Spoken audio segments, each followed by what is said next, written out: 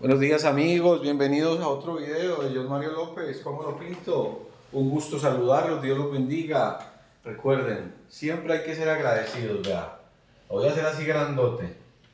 3.050 personas confían en mí, tengo amigos ya en el Perú, en México, en Argentina, en el Ecuador, en Tunja, en el país, muchos, 3.050.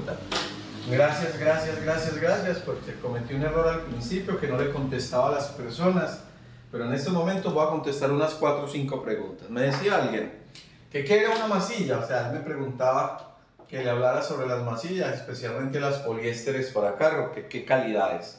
Yo a la hora le voy a hablar más claramente de Poliescol, pues las marcas que hay en el mercado, Plastiflex, que son pues marcas que son un poco más económicas, está pues la marca Duretal, está pues la marca poliéster, PPG, está la marca Dupont, en el tema de las masillas, Poliscore, Plastifresh, Continental, ojo, que son marcas de masillas. ¿Pero qué es una masilla?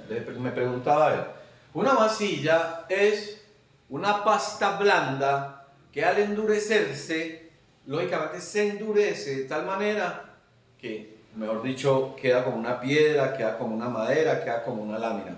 Pero esas masillas, ojo, lógicamente, como en la evolución de todo, es una pasta de diferentes materiales químicos, pero como en las paredes, ojo, en una pared, la masilla se llama estuco. Eso es lo que es una masilla en una pared.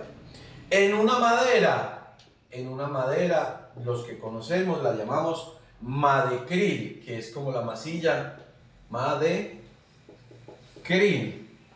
En los automóviles, que es, digamos, la, o en la metalmecánica, ahí también se utiliza, ahí ya, por ejemplo, tendríamos una diferencia, porque hay unas masillas nitro de un solo componente, hay unas masillas acrílicas, todavía se ven, y hay unas masillas poliésteres, unos talcos poliésteres el mal llamado hueso duro, esto ya es 2K, que en esa me voy a enfocar un poco para hablarle a este seguidor que quiere saber mucho sobre la calidad de las masillas. Mira, como todo en la vida, como todo en nuestro mercado, como todo en el mundo, siempre ha habido una evolución y siempre habrá unas cosas más finas que las otras. Las masillas poliéster también están en ese conjunto de cosas que hay unas muy buenas, unas del medio y unas de abajo. O sea, lo que yo hago acá en estos momentos, en todo lo de pintura, usted encontrará tres formas de hacerlo. Económico, medio económico y alto. Siempre. Tanto en vinilos, tanto en anticorrosivos, tanto en epóxicos, ya en poliuretanos. Eh, usted encontrará calidades. Entonces, en aquella época cuando comencé a ser ayudante de metal mecánica, de, chapistería, de pintura. Saludos a Edwin y a Carlos Mario, que fueron mis, mis profesores. Cuando yo voy a masillar un vehículo, en una época atrás, se llama, aquí en Cali le decimos el laminador, ojo, es o el chapistero, sé que en Bogotá, chapistero. Esta persona, muy útil en los talleres, pero muy pocos en el mercado bueno, se ha acabado. Esta es una profesión que pienso yo que se está desapareciendo, porque las piezas de los carros se las compran nuevas, se cambian las piezas, pero esto era un arte hace muchos años, sacar los golpes. Se utilizaba una plancha o martillo especial, se enderezaba. Ahí me van a disculpar pues porque vivo en un barrio en donde esto es muy particular, que pasan vendiendo están pidiendo es una limosna. Entonces, es un arte, el chapistero, el que saca el golpe. Pero por muy profesional que sea esa persona, se necesita una pasta que nos rellene, digamos que una pasta, una pasta que rellene. Si yo estoy haciendo este guardabarro y de pronto golpeé este, esta pieza, y probablemente esta es la línea y yo necesito organizar la línea porque la golpearon, se va a necesitar siempre una pasta, ojo, como usted lo encuentre, pasta, una masa o una masilla, la expresión, ¿cierto? Entonces, ha evolucionado el mercado que antes lo llamábamos hueso duro, ojo, que no era una pasta supremamente rígida, dura, un cacho, como palabras de mi ex compañero Edu. Entonces ahora en el mercado nacional, nuestro mercado, cada vez más han ido modificando y mejorando todos los procesos productivos, los procesos en las compañías y han desarrollado pastas, masillas de alta calidad que en su composición es micro delgado, un talco micro delgado muy flexible que lo que hace es rellenar, ojo, rellenar esos puntos donde el laminador no lo hace. Los laminadores de ahora lo sacan hasta cierto punto y luego se rellena con masillas y las llamamos porque su resina las llamamos masillas poliésteres o catalizadas 100 partes por 2, es decir, como decir una bolita de golf, una bolita pequeña encima, tienes que homogenizar muy bien, esto se llama peróxido, ojo, peróxido. Este peróxido usted lo que hace es entremezclarlo así, tiene que quedar totalmente esparcido y te da 8 minutos para aplicarlo, si no se te vuelve una pasta totalmente, se endurece de tal manera que es difícil. Los pintores, las personas que pintan carros, las personas que la saben trabajar, ah, lógicamente usted prepara solo el poquito que necesita. Estas masillas vienen de diferentes precios.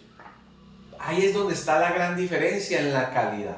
Entonces usted tiene un poliescol, usted tiene un plastiflex, usted tiene una duretan, usted tiene una PPG, usted tiene una Dupont, usted tiene una Continental. Entonces todas ellas producen pastas de altísima calidad. Por ejemplo, en el caso de la duretan, tiene pastas que oscilan entre 20.000, ojo, y 50.000. O sea, usted ahí tiene una gran diferencia. Hay unas entre el medio. Las de PPG son costosas, las de Dupont, las de Glaxury, también conocí unas de Glaxury. Pero esas pastas traen talcos muy finos, el cual no es una chambonada hoy día aplicarle esto a un BM, a un BMW, BMW, no es una chambonada ni a un Mercedes ni a un Audi para nada. En los grandes concesionarios en el mundo, en Estados Unidos, en Overholly, en todos los talleres se utilizan estas pastas. Entonces, ¿qué se hace? Eso se llama, esas pastas tienen un secado, una dureza, que usted las puede lijar en seco o en húmedo y existen pues, los procesos de, de secado. Entonces,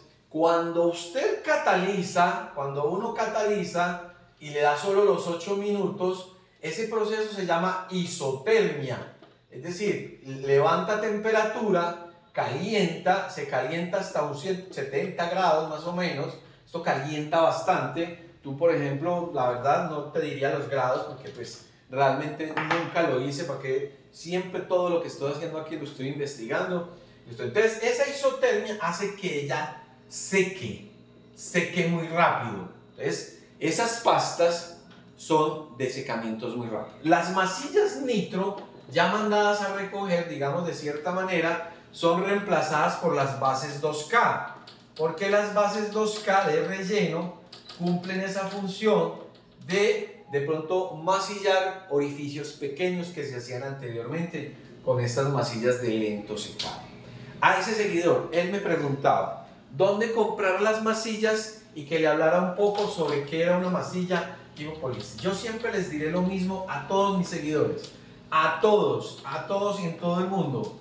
Esto hay que comprarlo en lugares que usted sepa de que le están vendiendo originalidad. Aquí en Cali hay muchos sectores donde tienen las masillas de buena calidad. Pero yo siempre les digo a ellos, tiendas de las fábricas, entonces, tiendas Pintuco, ojo, tiendas PPG, las hay, tiendas Glasury, ojo, en Colombia se llama Home Center, la puedes encontrar, las vi ayer, o el Solimac en el Perú, ojo, o nosotros en la Feria del Pintor, te vendemos la masilla adecuada. Cualquier distribuidor de Pintuco, de las marcas, te puede vender esto. Entonces a ese seguidor concretamente, las masillas, ya ahí le di una explicación de qué es una masilla, para qué se usan y en dónde comprarlas. Un abrazo para todos, Dios los bendiga, les seguiré contestando y gracias a esas personas que me preguntan, el proyecto está más vivo que nunca.